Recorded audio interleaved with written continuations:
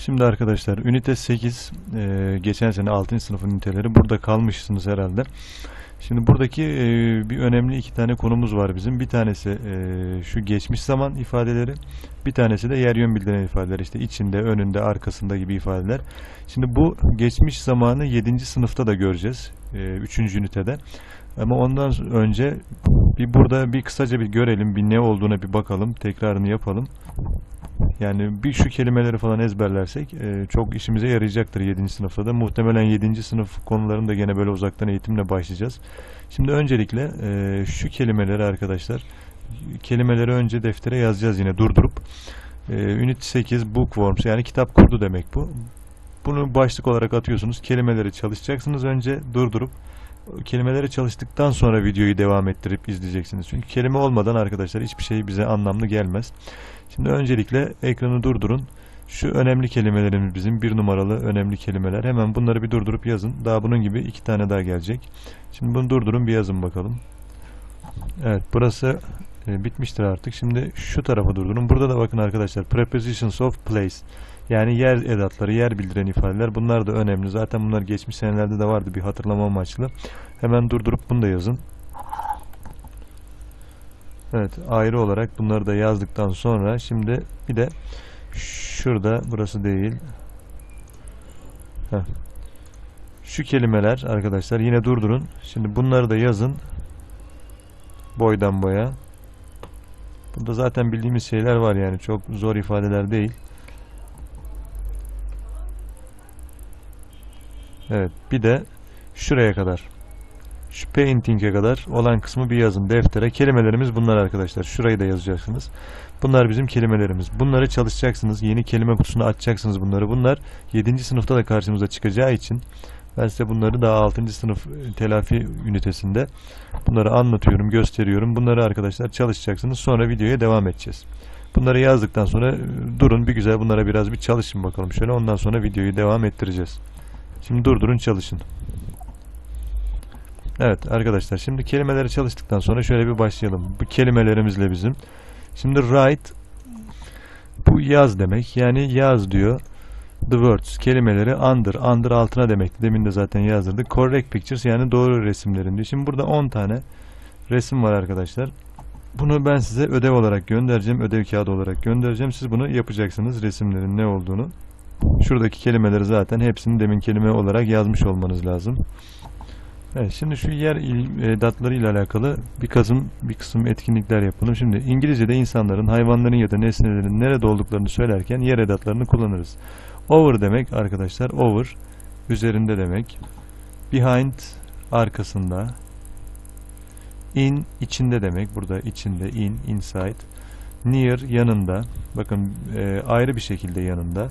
Bir de next to var. Next to bitişik yanında demek near yanında, next to bitişiğinde. Sonra between var. Between arasında demek. Under altında. On üzerinde, in front of da önünde. Bunları zaten biliyoruz. Şimdi bunlarla alakalı bir kısım etkinlikler. Şimdi bakalım burada e, birden 11'e kadar şöyle biraz yaklaştıralım. Şöyle birden 11'e kadar nesnelerimiz var. Bunlar hangisi gelecek? Mesela 10 3 kez kullanılacak. In front of 2 kez kullanılacak. Şimdi birinciye bir bakalım. The book. Book dediğimiz zaten kitap. Is bed. Şimdi e, birinci resme bakalım. Kitap bedde yatak demek. Yatağın neresinde? Tabi üzerinde olacak. Yani birincisi 10. Şimdi diğer şuradan ilk 6 taneyi hatta ilk 7 taneyi siz bir yapın. Kendiniz ekranı durdurup şöyle bakalım. Şurada göremeyeceğiniz gibi olmasın. Behind buradaki en sondaki de. Şöyle durdurup bir yapın. Ondan sonra kontrolünü yapalım. İlk 7 taneyi bir yapın bakalım. Durdurun şimdi. Evet bitmiştir. Şimdi bakalım e, durdurduktan sonra devamını getirelim. The Teddy Bear. Teddy Bear dediğimiz bizim şu oyuncak ayı. Oyuncak ayı e, bed yatağın neresinde bu? Şöyle baktığımız zaman bitişiğinde duruyor. Yani next to dememiz lazım aslında ama buraya next to'yu koymamış. Şöyle baktığımız zaman next to var mı? Yok. Yani e, o zaman önünde. Önündekini koymuş. In front of. Next olsaydı eğer şıkların arasında bitişik next to da doğru olurdu. Şimdi 3'e bakalım. Toy car is bla bla teddy bear. Toy car dediğimiz bizim e, oyuncak araba nerede? Şurada. Teddy Bear nerede? Oyuncak ayı da burada. Yani bunlar şöyle baktığımız zaman yan yana duruyor. Yani near yanında. Yani şöyle çevireceksiniz bunu. Oyuncak araba yanındadır. E, oyuncak ayının. İşte oyuncak ayı önündedir. Yatağın. Bu şekilde çevireceksiniz. Mesela the school bag. School bag okul çantası demek. Şöyle bakalım 4 numara nerede? E, şurada okul çantası ve boy. Yani çocuk, okul çantası ve çocuk. Şimdi baktığımız zaman neresinde diyeceğiz? Yine önünde in front of. İkinciye de bunu kullandık. Yani okul çantası çocuğun önündedir. Şöyle baktığımız zaman. Şuna 5'e bakalım. Crayons. Crayon dediğimiz arkadaşlar boya kalemleri demek. Crayons şunlar. Desk. Desk de şu masa. Boya kalemleri sıranın yani neresinde? Altında yani under. Sonra 6'ya bakalım. The book. Books kitaplar. Kaçıncı resim bu? 6 şurada. Kitaplar The Cat and the School Bag. Bakın. Cat dediğimiz kedi. School bag okul çantası. Bunların neresinde kalıyor kitaplar? Arasında kalıyor yani between. Sonra 7'de de cat is the carpet. Carpet halı demek arkadaşlar. Carpet. Yani şurada bilmediğimiz kelimeler varsa mesela carpet işte halı, krayon, boya kalemi. Mesela bu carpet'ı e, zaten kelimelerde vermiştik. Krayon e, boya kalemi demek. Teddy bear mesela oyuncak ayı. Bilmediklerinizi yine e, not edin tekrardan. Mesela buradaki de kedi on the carpet yani oyuncak alanının üzerindedir diyor. Sonra kilere bakalım. 8'den 11'e kadar hemen durdurup plain dediği burada bilmediğimiz bir şey var mı bakalım. Şu wall duvar demek arkadaşlar. Wall duvar. Bu case dediği buradaki kitaplık demek. Başka bakalım bilmediğimiz bir şey yok. Hemen durdurup şunları bir tamamlayın bakalım. Durdurun ekranı şimdi. Evet şimdi bakalım. Plane yani uçak is futbol. Futbol dediğimiz bizim e, futbol topu yani. Uçak futbol topunun neresinde? Arkasında yani behind. Picture, picture resim demek. Dokuzuncuya baktığımız zaman duvarda neresinde? Duvarda yani on the wall. Duvarda derken arkadaşlar duvarın üzerinde on şeklinde söylenir. On the wall. The sun, güneş, e, tree. Ağaçların neresinde? Arkasında yani over yani üzerinde. Behind'ı yani arkasındayı daha önce kullandığımız için e, over kaldı. Over üzerinde. Yani aslında behind arkasında da diyebilirsiniz. Üzerinde de diyebilirsiniz. İkisi de olur. Yani bunların tek bir cevabı yok bazen. iki cevabı, üç cevabı da olabiliyor ama biz olan kelimeleri kullanacağız. Mesela 11'de de the books are bla bla bookcase yani kitaplığın neresinde? içinde yani in. Şimdi arkadaşlar bunlar zor şeyler değil. Yani şu şunun yanındadır, önündedir, arkasındadır. Şunları bildikten sonra hepsini rahatlıkla yapabiliriz ve bunları da bilmemiz gerekiyor. Bakın bunlar önemli. Şimdi bir de geçmiş zaman konuları var. Bunlarla alakalı da bir bakalım şimdi. Şimdi arkadaşlar past tense geçmiş zaman demek. Bunu daha öncelerde 6. sınıfta, 5. sınıfta bu yoktu. 6. sınıfta ilk defa e, karşımıza çıkan bir zaman ifadesi ve 7'de de göreceğiz. O yüzden şimdi bir bakalım. Yani bir kısaca bir bakalım. Bunların hepsini deftere yazacağız arkadaşlar. Bu sayfada gördüğümüz her şeyi deftere yazacağız ve bunlara çalışacağız. Şimdi bakalım. Past tense geçmiş zaman demek. Yani dili geçmiş zaman. Şöyle mesela ben yürüdüm. Geçmişte yapılmış işlerden bahsederken kullanılan ifade. İşte o geldi, işte o gitti, yedi, içti neyse artık. Şimdi bunun için cümlede arkadaşlar 2-3 tane bizim kuralımız var. Öyle zor kurallar değil. Şimdi birinci kural şu. Çok en basit de budur. Cümlede fiil yani fiil dediğimiz ifade bizim nedir? Sonuna mekmak eki alabilen ifadeler. Nedir yani Türkçedeki bunlar? İşte insanların yaptığı işlerdir fiiller. Mesela yürümek, işte oynamak, uyumak, yemek, içmek. Mesela arabanın sonuna mekmak eki gelir mi? Arabamak, işte evmek, işte mesela atıyorum yolmek, işte ağaçmak böyle bunlar olmuyor bakın. Sonuna mekmak eki alamayan ifadeler fiil değildir. İnsanların yaptığı ifadeler fiildir. İşte yürümek, yemek, bakmak, uyumak, görmek, gezmek hepsi birer fiildir. Bize bunların İngilizceleri lazım. İşte bu play, işte read, eat, drink bunlar. Şimdi bu, bunlardan yoksa cümlede yani sonuna mekmak eki alan bir ifade yoksa en basit de bu. Bakın e, biz bunlara isim cümlesi diyoruz. Mesela I am, he, she'den sonra is, we, they'den sonra are gelir. Şöyle bir baktığımız zaman normalde I'dan sonra am, he, she'den sonra is, we, they'den sonra da are geliyor.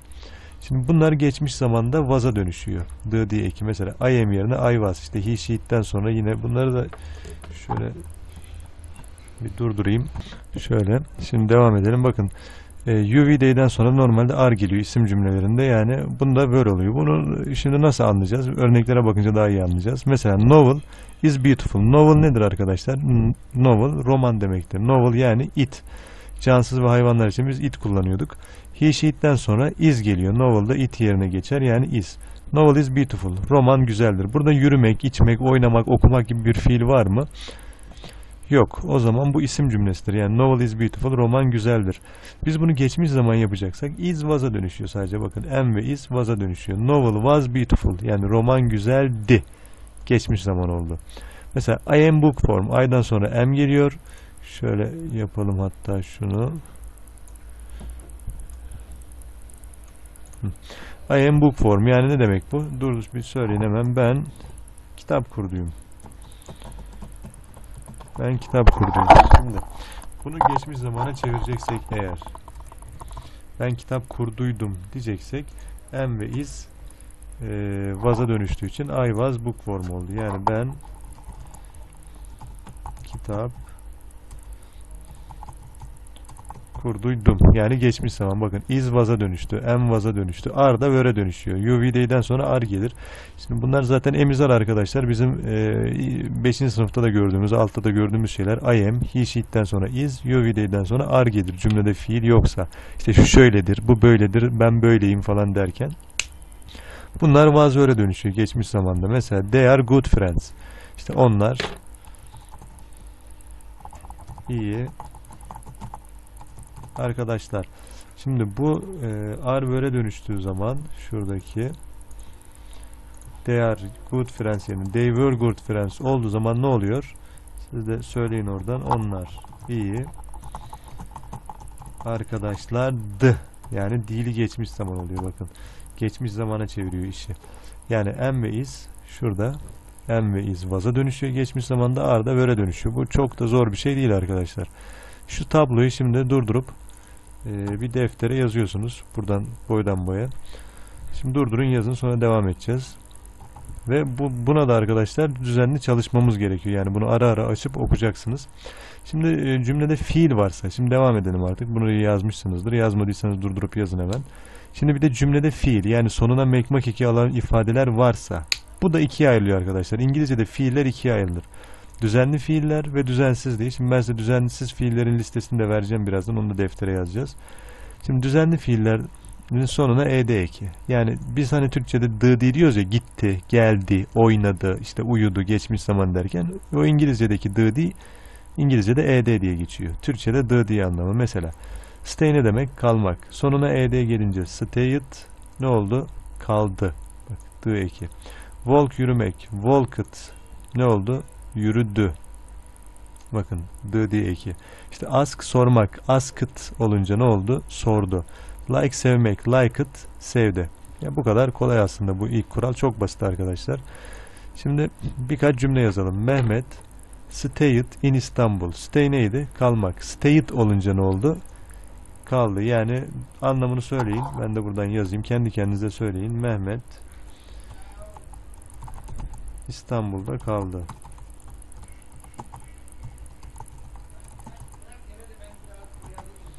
Geçmiş zamanlı bir ifade. Şuradaki.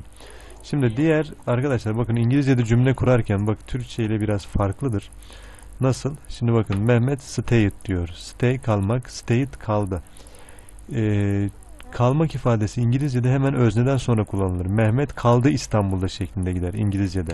Türkçe'de ise bakın kaldı ifadesi cümlede en sondadır. İngilizce cümle kurarken buna dikkat edin.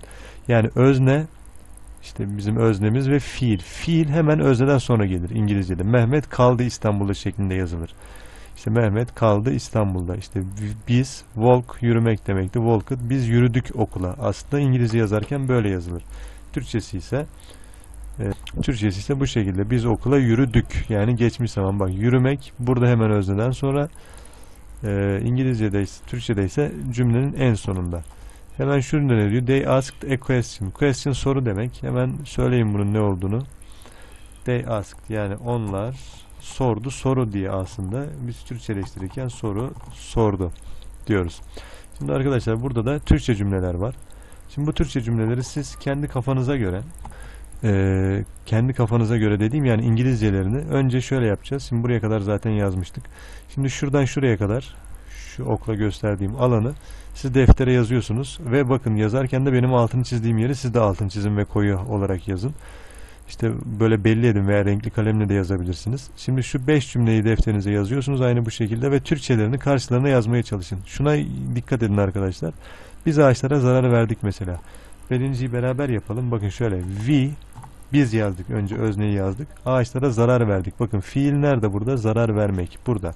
Fiil İngilizce'de ik- ikinci tarafa yazılacak direkt. We başladığımız bakın zarar vermek. Harm destroy da diyebiliriz. Harmed trees. Biz ağaçlara zarar verdik. Bakın.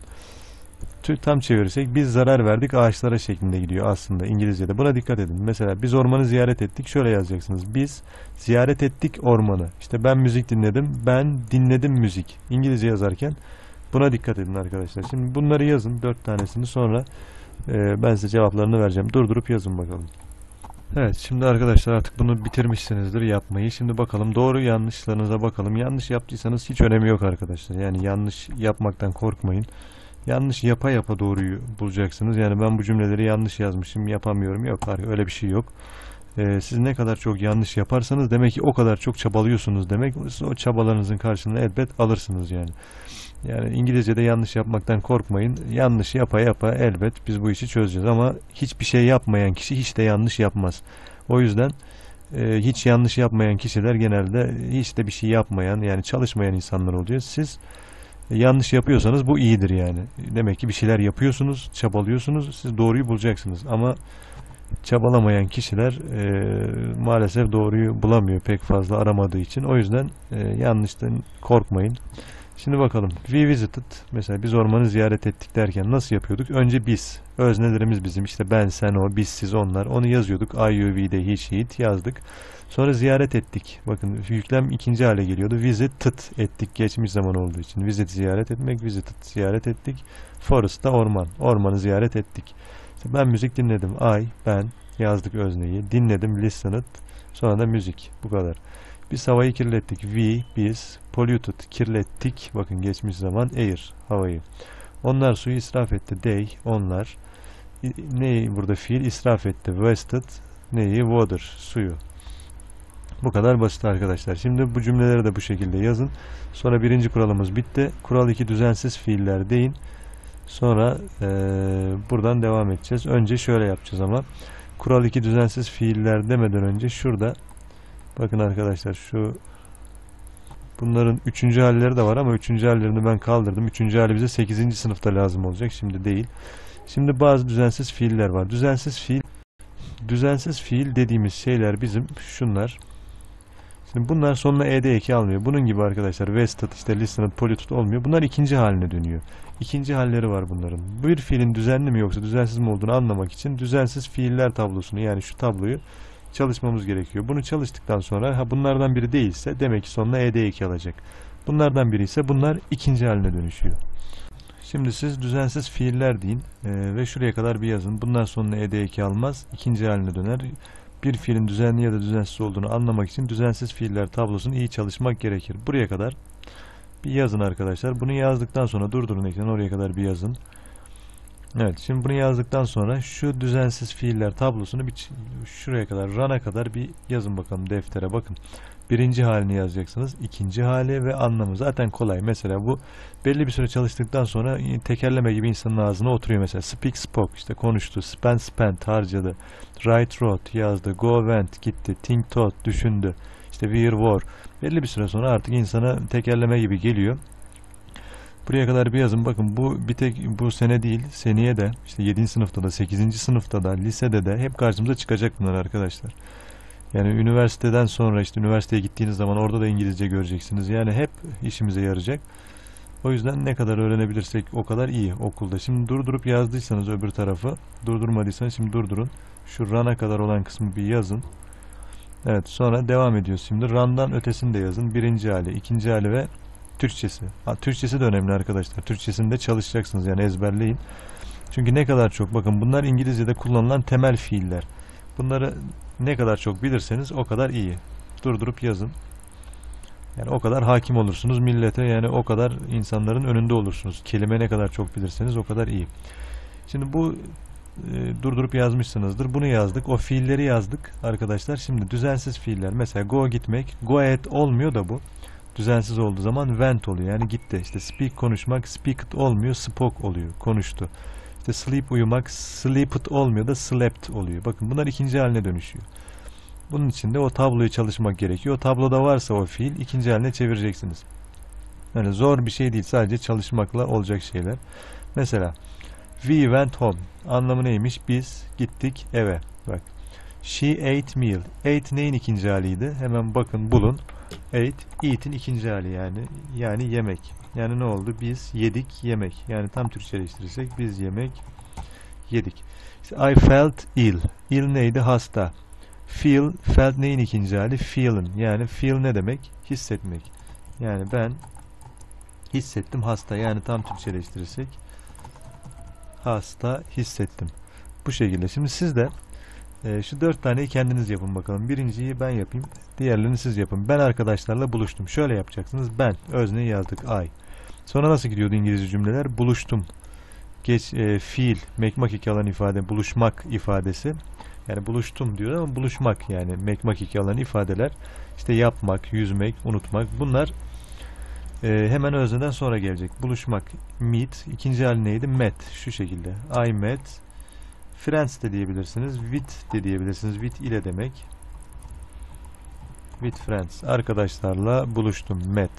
Şimdi siz de şu üç taneyi durdurup yapın bakalım. Şimdi durdurun. Bir yapın hemen.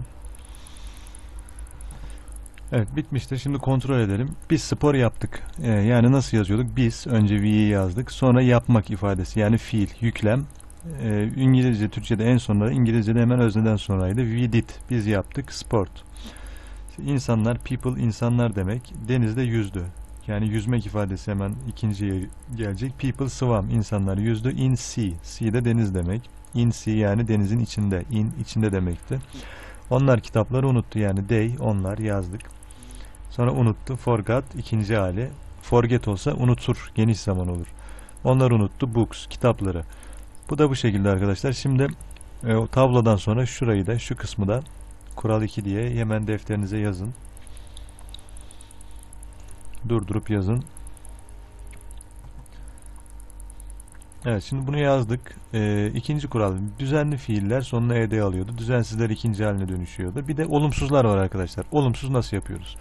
Olumsuz cümlelerde hani nasıl geniş zamanda don't mesela play oynamak, don't play oynamamak işte like sevmek, don't like sevmemek. İngilizce'de de don't yerine didn't. Hani do'nun ikinci hali neydi? Bakın bak do nerede? Do ikinci hali did. Yani don't yerine geçmiş zaman yapıyorsak did yani didn't. IUV'de hepsinden sonra didn't ve fiilin ilk hali geliyor. Bakın olumsuzlarda arkadaşlar didn't'tan sonra ne ikinci hali geliyor? Şunlar. ikinci hali de gelmiyor. Sonuna ed eki de almıyor. Bak bu ed ekini de almıyor. Olumsuzlarda direkt ilk hali. Ne wasted oluyor ne ate oluyor. Ne polluted oluyor. Hiçbir şey olmuyor. Direkt fiil olduğu gibi yazılıyor. Nasıl? İşte I didn't waste water. Olumsuz yaparken cümleyi önce özneyi yazıyoruz. I, ben. Bunu yazdık. West işte israf etmekti. Özne ile fiil arasına şuraya bir tane ek geliyor. Didn't yani bakın özne burada. Fiil burada. I west mesela.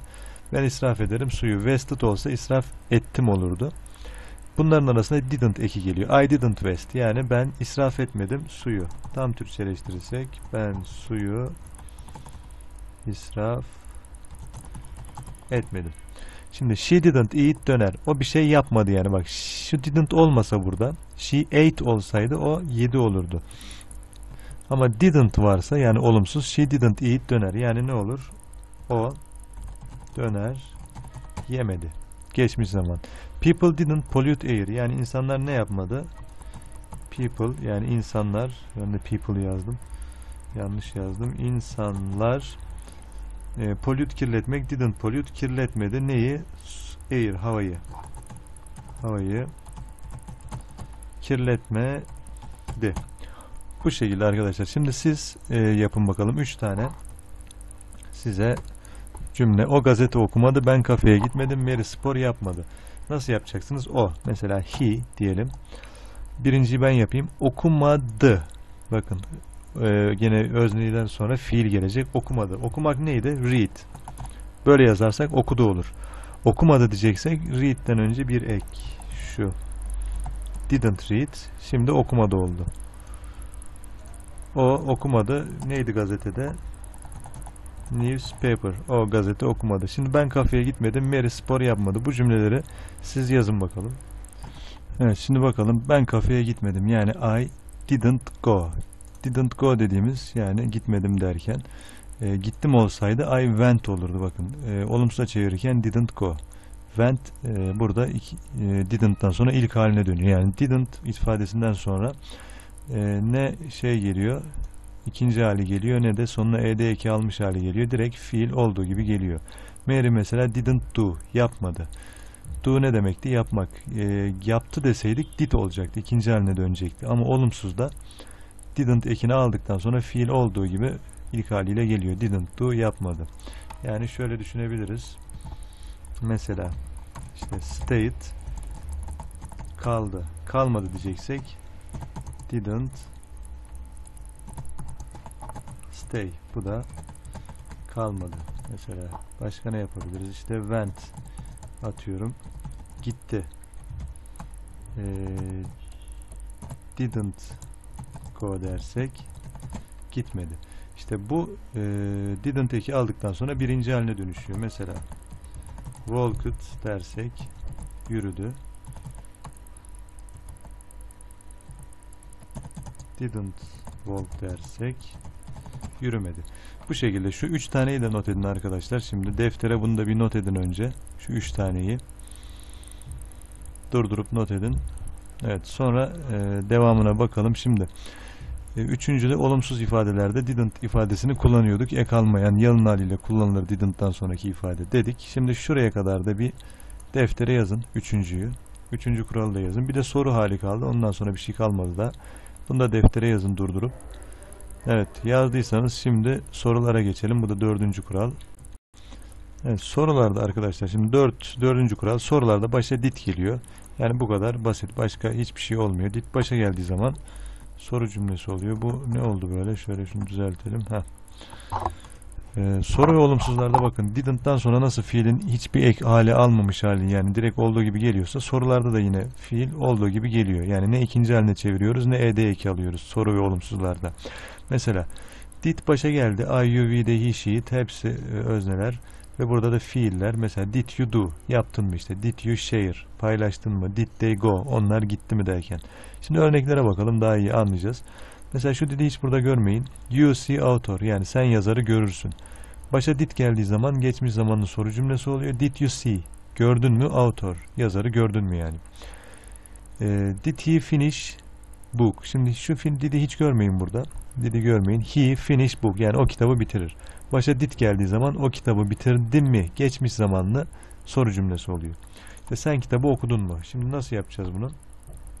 Kitabı okumak nedir? İşte sen kitabı okudun mu? Önce şöyle yazalım. Sen, you, read, sen okursun, book, kitabı okursun. Bak bizim cümlemizi yazdık. Sen okursun kitap. Nasıl yazıyorduk İngilizce cümle kurarken? Önce özne, sonra makiki alan ifade okumak, sonra kitap. E buna başa did geldiği zaman da did you read book? Kitabı okudun mu oluyor. Başa sadece did geldi mi geçmiş zamanda o bir işi yaptın mı anlamı katıyor. Şimdi siz de şu iki cümleyi yazın bakalım. Sen okula gittin mi? Önce şöyle bir cümle yazın. Sen işte gidersin okula. Geçmiş zaman değil de e, did geçmiş zaman anlamı katacak. Sen gidersin okula deyin başa did koyun. İşte sen içersin çay deyin başa did koyun. Bunu yapın bakalım. Durdurun videoyu.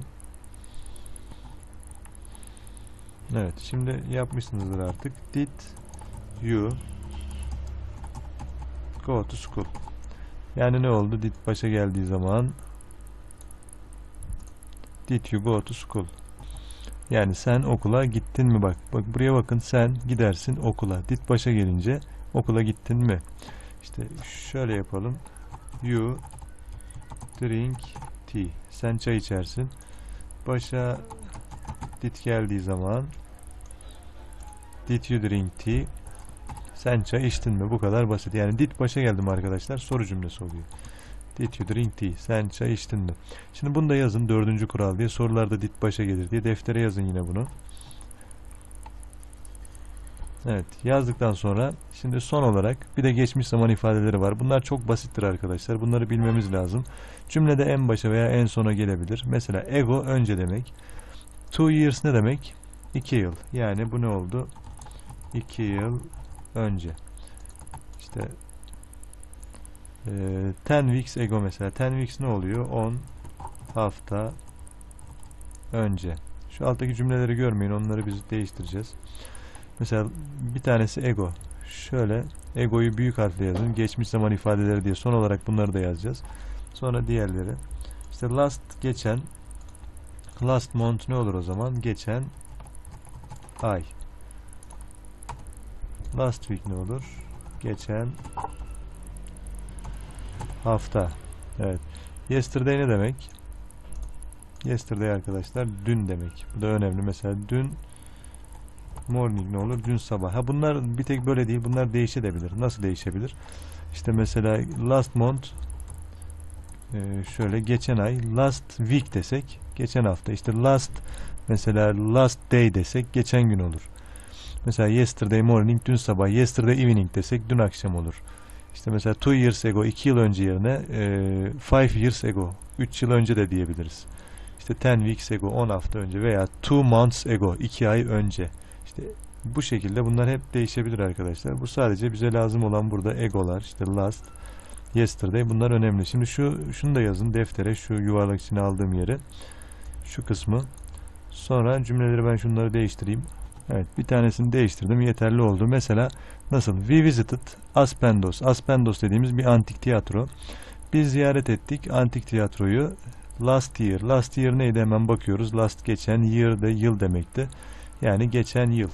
Yani Türkçeleştirirsek biz geçen yıl Aspendos'u ziyaret ettik. Yani bu şekilde arkadaşlar geçmiş zaman ifadelerinde kullanılıyor. Biz cümlede İngilizce'de bunları en sona koyuyoruz. Türkçe'ye çevirirken e, istediğimiz gibi çevirebiliriz. Mesela I finished all hepsi demek. Hani all star falan derler tüm yıldızlar. All hepsi. I finished all my homework yesterday night. Night gece demek. Night. O zaman bana bu cümleyi hemen kendi kafanızdan çevirin. Durdurup çevirin. Evet cümle şöyle olacak. Ben dün gece tüm ödevimi bitirdim. Yani ben bitirdim tüm ödevimi dün gece. İngilizce'de bitirmek, make, make alan ifadeler hemen özneden sonra geliyordu. Şimdi arkadaşlar e, buraya kadar e, de defterinize yazın şu iki taneyi de. Geçmiş zamanı e, bir görmüş olduk. Cümlede fiil yoksa em ve iz vaza dönüşüyordu. Ar vöre dönüşüyordu. Geçmiş zaman yaparken. Fiiller ikiye ayrılıyordu. Sonuna ed eki alanlar e, ve ikinci haline dönenler. İkinci haline dönenlerin listesi şurada. Bunu da deftere yazdık. Soru ve olumsuzlarda olumsuz yaparken didn't getiriyorduk. Özne ile fiilin arasında bir didn't eki. Olumsuzlarda fiilin hep birinci hali kullanılıyordu. İşte ed veya ikinci hali almıyordu. Sorularda başa dit geliyordu. Gayet kolay. Dit varsa zaten direkt soru cümlesi. En son olarak da zaman ifadelerini gördük ve geçmiş zamanı arkadaşlar bunları deftere yazın ve çalışın. Gene gene bunları çalışın. 7. sınıf e, konularında da bunları bir kez daha göreceğiz. Şimdilik bunları bir adam akıllı bir çalışın. Ki 7. sınıfta bize bunların faydası çok olacak. Evet son olarak e, iki tane de test sorusu çözelim. Ondan sonra bitirelim. Ben size bunlarla alakalı ödevler göndereceğim. E, onları yapacaksınız. Şimdi bakalım. Şunu durdurun. Şurada e, bir saat var. Quarter to four diyor. Quarter 15 yani çeyrekte. To four yani 4'e çeyrek kala anlamında. To e a 2 4'e çeyrek kala yani 3.45. Şimdi burada durdurup yapın bakalım bunu. Evet durdurmuşsunuzdur. Şimdi burada diyor ki he do yani o yapar diyor. 3 yani 4'e çeyrek kala did var. Geçmiş zamanlı bir soru yani yaptı mı? What da ne demekti? Yani ne yaptı? O e, bu saatte ne yaptı diye soruyor yani 4'e çeyrek kala.